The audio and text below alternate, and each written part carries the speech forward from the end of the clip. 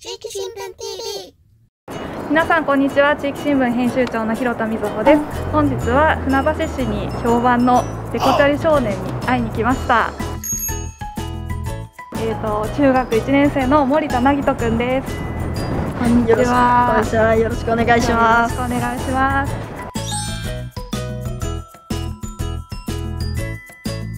この後実際に2人を見せてもらいますあれですか？あれです。あーすごい。これとこれ今2台ですか？今のとところはデコチャリ2台で。こっちが鑑賞用？そうですね。えー、すごい。すごいすごい。これ制作期間どれぐらいですか？2年ちょっと。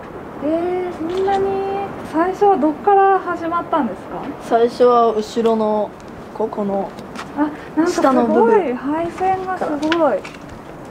えー、こういうのってこれは何電気をつけるための配線ですか？そうですね。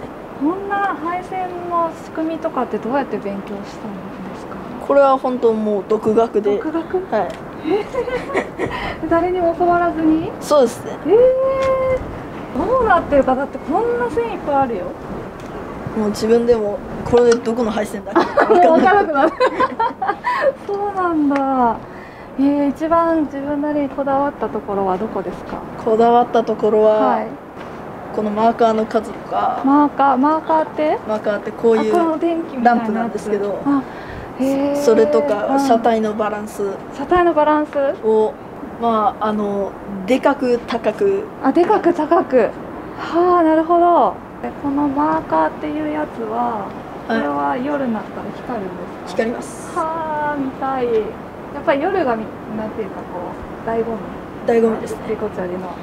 カメラで見るより、うん。あの実物見て見た方が綺麗。あそうなんだ。見たい。へえすごいすごい。これ素材は何ですか？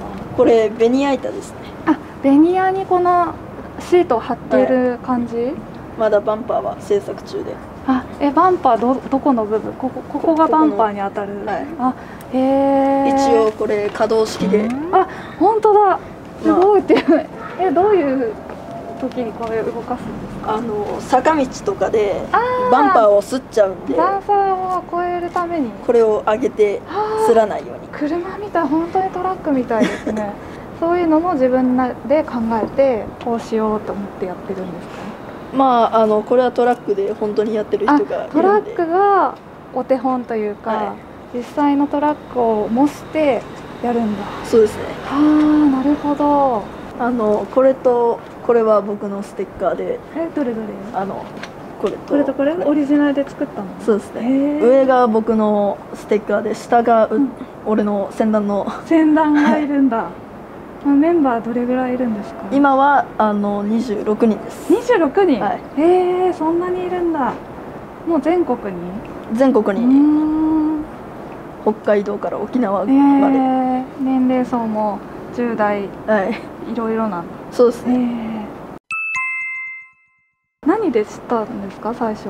俺はあのトラック野郎っていう映画があって。映画きっかけそれであのどっかのワンシーンでデコチャリが出てて、それであこんなやつあるんだへえじゃあ最初はやっぱりトラックから入ってるそうですね。ねなるほど。これはこれシャンデリア。シャンデリア。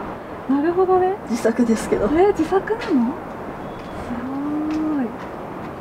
このモニターみたいなのがこれがフロントモニタフロントモニター？ー前が見えないんで前を映す。え映るの？はい。えー、すごい。車みたいここを押したらどうなるんですか？今バッテリー入ってないんですけど、あのこのヤンキーホーンとビッグホーンっていう 裏側の方についてるあの音が鳴るホーンが鳴りまして、ヤンキーホーンって言うんだ。あそれが鳴るんですねここ押すと、珍しいんですか？じゃあこれあのこれカクビックって言うんですけど、はい。あのこれは今はそんな売られてない。へえカクビックはい、うーんなんかちょっと年季入ってる感じですね。そうですね。40年前ぐらいの。へえそういうのはどどうやって情報を仕入れるんですか？あのトラックの人とつながってて、うん。あ LINE で。それであのビッグホーンなん何の形が好きって言われて、うんうん。角ビッグですかねって言って そんならあのトラックショップ一緒に行ったんですよ。でその時に「あこれ」って言われて差し出されて、へえあトラックの運転手さんたちにいろいろ教えてもらってるんだ。そうですね。これはこっちもこっちも両方お母さんが描いたの？そうですね。もう一面あるんですけど、うん。上り鯉が。あ本当だ。こういう絵がいいっていうのはリクエストして。そうですね。お母さんもすごいな。緊張するよ。こんな高級車。ああ。乗りました車のや本当にいい匂いがする。めちゃめちゃいい匂いがするし。あああ進んだあ意外とあ怖い怖い怖い。怖い。つゆっくりめに進んだらゆっくりめ案に外大丈夫走り出せば意外とスムーズだけどバランス取るのがドキドキする。ねこれなんかやっぱグラグラするんですけど倒れはしないんだよね。すごい。あのこぎ出しは重たいけど走り出しちゃえば意外とあのスムーズに進みます。どうですか？似合いますか？似合います？絶対似合わないよね。すごい乗せてもらっちゃった。ありがとうございます。貴重な貴重な経験をさせていただきました。